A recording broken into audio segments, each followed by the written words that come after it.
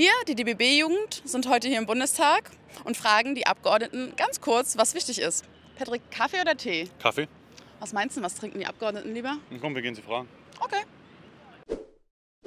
Berufsbeamtentum stärken oder einschränken? Stärken. Äh, stärken. Ich glaube, es ist bewährt und die bewährten Teile sollten wir auf jeden Fall erhalten. Äh, bin ich immer dafür gewesen, das zu stärken. Nein, ich glaube, dass wir es nicht stärken müssen, sondern so wie es heute ist, ist es in Ordnung. Äh, Ich finde, das Berufsbeamtentum hat äh, seine absolute Berechtigung bei hoheitlichen Aufgaben äh, und sonst äh, differenzierte Formen der Beschäftigung im öffentlichen Dienst haben. Wichtig ist aber, die müssen alle sozial gut abgesichert sein.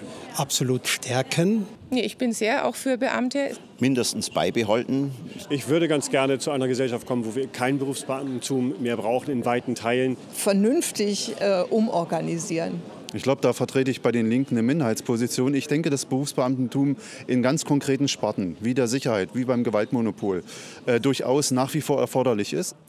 Wir stehen dafür, dass das Berufsbeamtentum in den Bereichen, wo es notwendig ist, wo es im Hoheitsgebiete des Staates auch äh, weiter erhalten bleibt. Trotzdem muss man eine Diskussion darüber führen, in welchen Bereichen es noch notwendig ist. In anderen Bereichen habe ich ein Fragezeichen, ob wir da Beamtentum brauchen, aber in bestimmten Bereichen, wo es auch um Sicherheitsfragen geht, äh, bin ich sehr dafür, dass wir auch Beamte haben in Zukunft. Stärken. Insgesamt glaube ich stärken. Stärken. Ich bin für das Berufsbeamtentum. Es bringt uns sehr viel in einem Staat, sehr viel Stabilität, sehr viel Zuverlässigkeit. Also ich unterstütze das Berufsbeamtentum. Stärken. Also ich glaube, dass wir das Berufsbeamtentum brauchen. Wir sind auch deswegen ein Land, das wenig korruptionsanfällig ist. Aber die Frage ist, ob alle die Berufe, die man in der Vergangenheit beamtet hat, verbeamtet werden müssen. Halten und stärken. Äh, Die Gleichstellung von Beamten und Tarifbeschäftigten wäre für unseren Staat ein schwerer Fehler. Arbeitsverträge befristet oder unbefristet? Schöner ist es natürlich unbefristet, in einer Abwägung, wenn es gar keine Verträge gibt. Als Notlösung oder zum Einstieg ist es sicherlich auch mal möglich, aber nicht als Dauerlösung. Mir wäre es lieber, wenn wir mehr Unbefristete hätten als Befristete. Lieber unbefristet. Unbefristet. Auf Wunsch des Betroffenen auch befristete möglich. Ähm, Das muss sein. Aber grundsätzlich muss jeder auf einen unbefristeten Arbeitsvertrag einen Rechtsanspruch haben. Arbeitsverträge unbedingt unbefristet und zwar jederzeit, insbesondere für die Menschen aus dem öffentlichen Dienst, die nach ihrer Ausbildung häufig äh, nur befristete Angebote bekommen. Das geht gar nicht. Unbefristet natürlich. Unbefristet. Das kommt drauf an. Wir brauchen auch befristete Arbeitsverträge. Es kommt drauf an, aber Missbrauch muss man verbieten. Unbefristet, wenn es geht. Lieber unbefristet. Äh, Es gibt für beides gute Gründe. Junge Leute sagen mir manchmal, die Flexibilität ist gut. Wenn sie älter werden, wollen sie ständig äh, wollen sie einen unbefristeten Vertrag haben.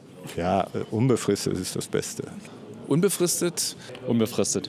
Unbefristet. Na klar, unbefristet. Befristet natürlich, klar. Äh, ah! Nein.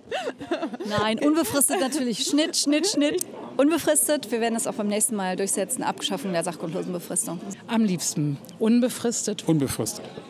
Unbefristet, wenn mir der Herr Schäuble die Kohle dafür gibt. Pension und Rente oder Bürgerversicherung?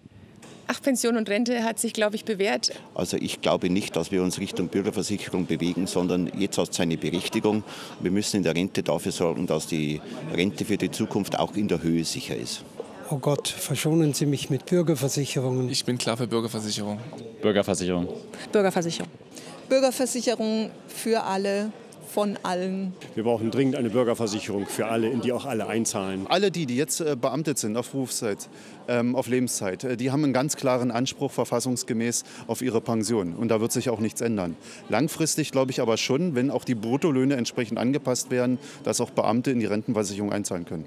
Pension und Rente, selbstverständlich. Pension und Rente trennen.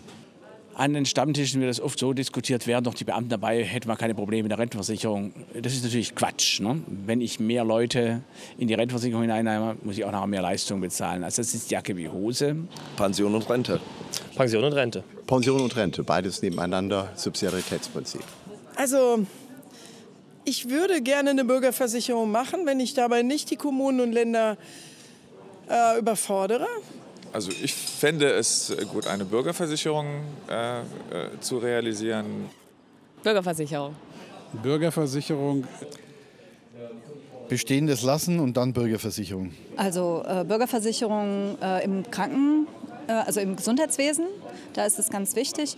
Im, ähm, bei der Rente ist es schwieriger, weil da steht ja jede Einzahlung eine Auszahlung gegenüber. Das ist bei der Krankenversicherung anders. Da zahlt man ein und hofft, dass man nichts rauskriegt. Deswegen ist da die Bürgerversicherung einzuführen halt ähm, einfacher und auch, auch wichtig. Bürgerversicherung. Bürgerversicherung auch für, auch für Beamte, obwohl ich ja selbst einer bin, aber vielleicht gerade deshalb, weil ich einer bin.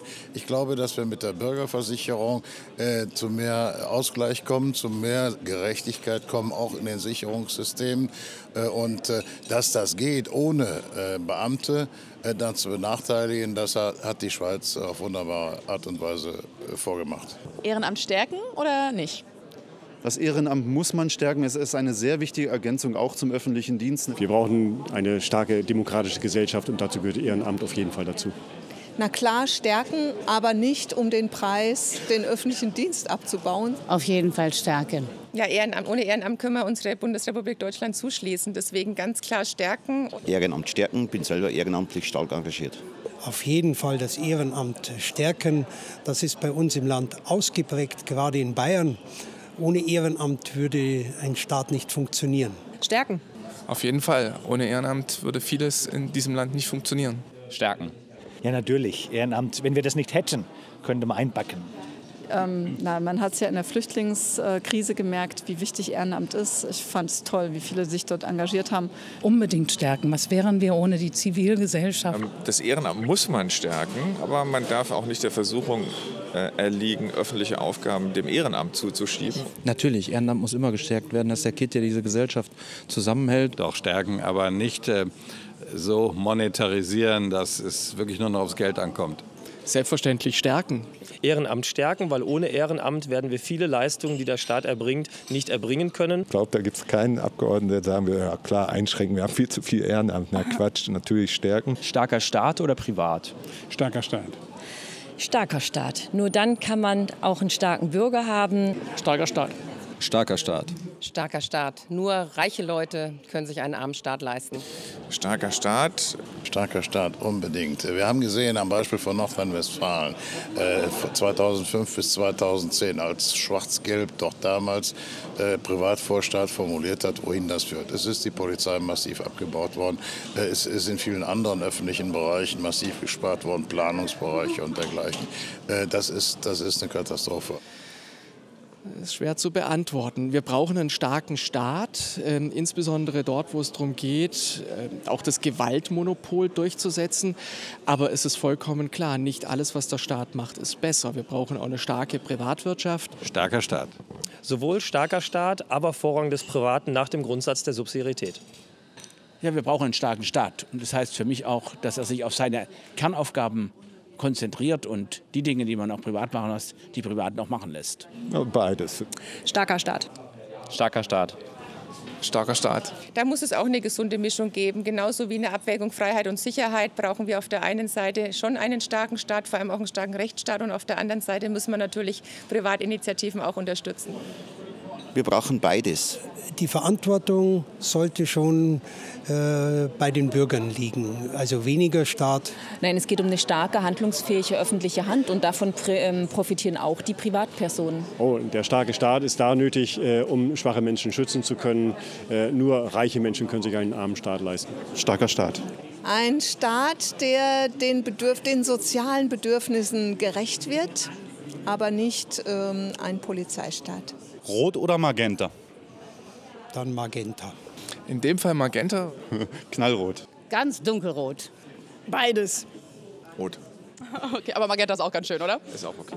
Rot. Ja. Ich. Na, Aber auch ein bisschen sein. Magenta. Natürlich. Magenta. Dann eher Magenta. Magenta. Magenta.